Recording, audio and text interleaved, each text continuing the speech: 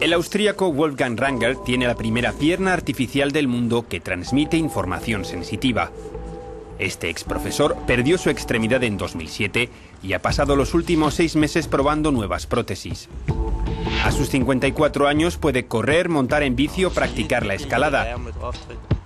Cada vez que Ranger da un paso o aplica presión, un grupo de pequeños sensores envía señales al cerebro. Con esto puedo sentir si es un suelo pavimentado o con gravilla. En invierno, y es muy importante, puedo sentir si el suelo está helado o es resbaladizo, y puedo actuar al respecto para no resbalarme y caerme. La prótesis tiene otra función. Ha ayudado a erradicar el dolor en su miembro fantasma que Ranger sintió durante años tras la amputación.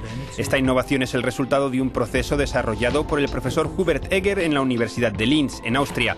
Primero los cirujanos reconectan los restos de los nervios del pie desde el muñón a tejido sano en el muslo cerca de la superficie de la piel. Después se colocan seis sensores en la prótesis, conectados a los estimuladores que se sitúan dentro de la zona en la que se asienta el muñón.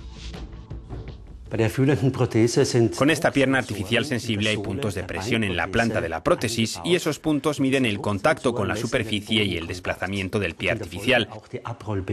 Esta información se transmite a las células nerviosas y después al cerebro, generando sensaciones.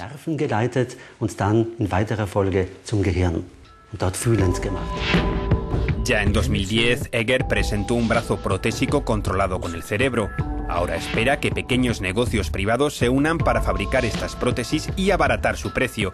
De momento, una pierna cuesta entre 10.000 y 30.000 euros.